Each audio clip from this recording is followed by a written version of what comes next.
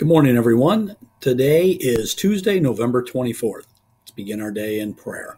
In the name of the Father, the Son, the Holy Spirit. Amen. Lord Jesus, your grace and mercy abounds even in the midst of trials and difficulties. Help me to seek your kingdom first and to reject whatever would hinder me from pursuing your way of peace, righteousness, and holiness. Fill me with the joy and hope of your everlasting kingdom. Amen name the Father, the Son, the Holy Spirit. Amen. And now please stand for the Pledge of Allegiance. I pledge allegiance to the flag of the United States of America and to the republic for which it stands, one nation, under God, indivisible, with liberty and justice for all. And now, just one quick announcement on behalf of the faculty and staff and the parish. We want to wish you all a very safe and happy Thanksgiving.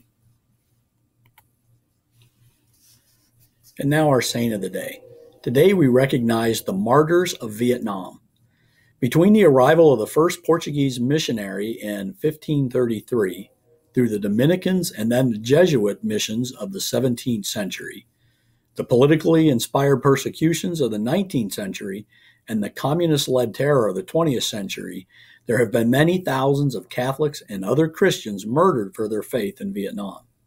In 1988, Pope John Paul II recognized over a hundred of them, including some whose causes we do have, and in some commemorations for those that we do not have. They are collectively known as the martyrs of Vietnam. And now, this day in history. In the year 1957, Cleveland Browns fullback Jim Brown sets a club record with 237 yards rushing. And in 1971, American D.B. Cooper hijacks a plane, extorts $200,000 ransom before jumping out of the plane over Washington state, never to be seen again. And now, my silly dad joke of the day. As a lumberjack, I know that I've cut exactly 2,417 trees. I know because every time I cut one, I keep a log. And I would like to end our day to day with a message of thanksgiving. Thanksgiving is a time of gratitude to God, our Creator and Provider, whose guidance and care goes before us and whose love is with us forever.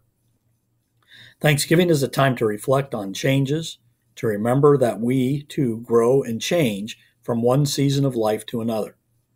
Thanksgiving is a time of changing seasons, when leaves turn golden in autumn's wake and apples are crisp in the first chill breezes of fall. Let us remember the true meaning of Thanksgiving. As we see the beauty of autumn, let us acknowledge the many blessings which are ours. Let us think of our family and friends, and let us give thanks in our hearts. Have a great day, everyone. Have a wonderful Thanksgiving. St. Charles Borromeo, pray for us. Peace.